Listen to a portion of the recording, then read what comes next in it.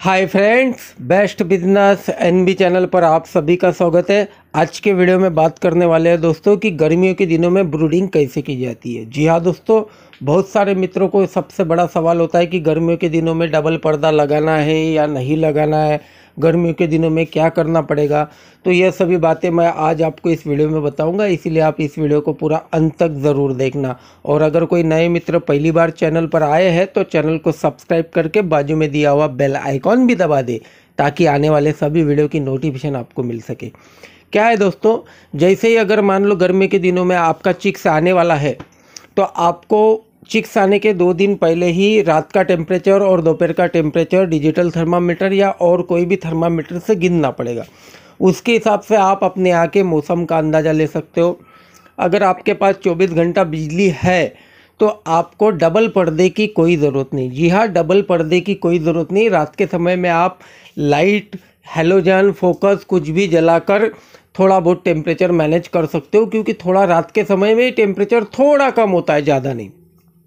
अगर आपके यहाँ पे 24 घंटा बिजली नहीं है तो फिर आप रात के लिए डबल पर्दे का इस्तेमाल कर सकते हो, लेकिन डबल पर्दा आपका ऐसा होना चाहिए कि दोपहर के समय में पूरा खुलना चाहिए। जी हाँ आप उसे पूरी तरह से ऊपर या नीचे कर सके, ऐसी व्यवस्था वाला अगर डबल पर्दा है तो ही उसका इस्तेमाल करना, नहीं तो नहीं करना। क्योंकि दोपहर में और रात में। दोपहर में तो कोई प्रॉब्लम नहीं है टेम्परेचर हाई होता है बट रात में भी इतना कम नहीं होता है। अगर आप हेलोजन वगैरह का इस्तेमाल कर रहे हो तो ध्यान रखना कि जो भी लाइट का इस्तेमाल आप कर रहे हो, उसकी हाइट सही हिसाब से रखना। जैसी नॉर्मल ब्रीडिंग में अपन डेढ़ फीट दो फीट रखते हैं, इसमें चार से पाँच फीट पे रखना है। सिर्फ़ उजाले के लिए हो सके तो इसका इस्तेमाल करना है। उजाले के साथ साथ अपने आप गर्मी भी बनेगी।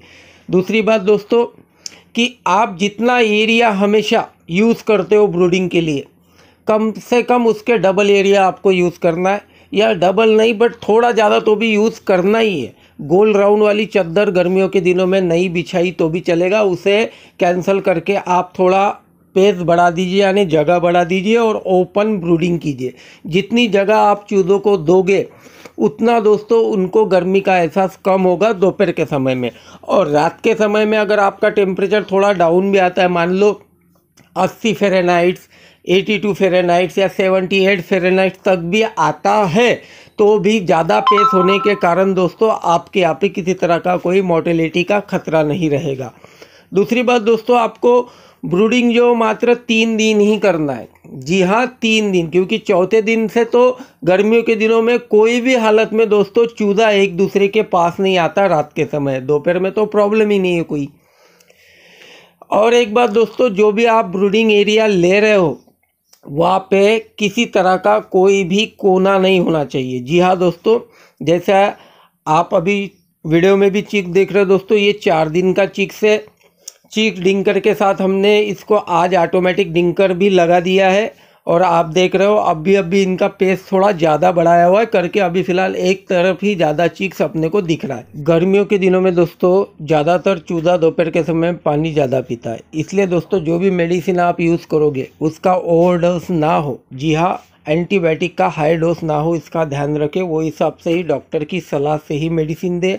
साथ ही दोस्तों, ब्रूडिंग हॉल के अंदर अगर आप राउंड वाली चद्दर अगर यूज़ नहीं कर रहे हो दोस्तों तो ऐसे कोने बन जाते हैं। जी हाँ अगर ये चद्दर यूज़ नहीं करोगे तो दोस्तों कोने बन जाते तो वो कोनों पे आपको राउंड वाली कोई भी चीज़, पुट्ठे से राउंड बनाओ या कोई भी चीज़ से राउंड बनाओ, क्योंकि रात के समय में, दोपहर के समय में ज़्यादा गर्मी होती है और रात के समय में टेम्परेचर थोड़ा डाउन होता है। और ऐसे इसमें अगर अचानक से बरसात वगैरह हो गई और आप बिजली वगैरह बंद हो गया तो ऐसे समय में कोनों में ज़्यादा चिक्स इकट्ठा होने का डर होता है। इसीलिए दोस्तों, जो कोने हैं, वो आपको कट कर देना है, उसे राउंड बनाना है। साथ ही दोस्तों, गर्मियों के दिनों में ज़्यादा से ज़्यादा चिक्स ड्रिंकर जो है दोस्तों, उनकी संख्या आपको ज़्यादा रखना है। जी हाँ हर कोने में चूदा अगर दो तीन फ़ील्ड भी इधर उधर घूमता है तो ड्रिंकर के पास जाना चाहिए। ऐसी पानी का इंतज़ाम करें, ज़्यादा से ज़्यादा बर्तनों में पानी लगाइए। दोपहर के समय आप कुछ घंटों के लिए, ज़्यादा नहीं बट कुछ घंटों के लिए फ़ीड बंद कर सकते हो बट फ़ीड नहीं बंद किया तो भी चलेगा ओपन फीडिंग रही तो भी चलेगा। गर्मियों के दिनों में ज़्यादा कोई दिक्कत वाली बात तो नहीं आती है ब्रूडिंग में। ब्रूडिंग एकदम इजी होती है, सिर्फ़ दोपहर के समय में टेम्परेचर अपने को कम रखना है और रात के समय में मैनेज करना है, बस यही होता है दोस्तों। दोपहर के समय में टेम्परेचर कितना हाई जा रहा है, रात के समय में कितना डाउन आ रहा है, इसको चेक करने के लिए आपको डिजिटल थर्मामीटर या और कोई थर्मामीटर का इस्तेमाल करना ही है दोस्तों। अगर आप टेम्परेचर सही तरह से मालूम नहीं करोगे तो आप चूज़ों को पाल नहीं पाओगे। इसलिए कोई भी चीज़ का इस्तेमाल करके टेम्परेचर गिनना ज़रूरी है।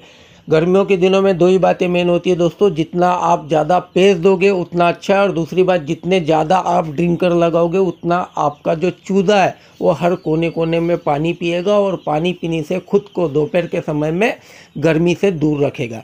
यही दो बातें आपको ध्यान रखना है दोस्तों, बाकी गर्मियों के दिनों में कोई ज़्यादा दिक्कत वाली बात नहीं होती है।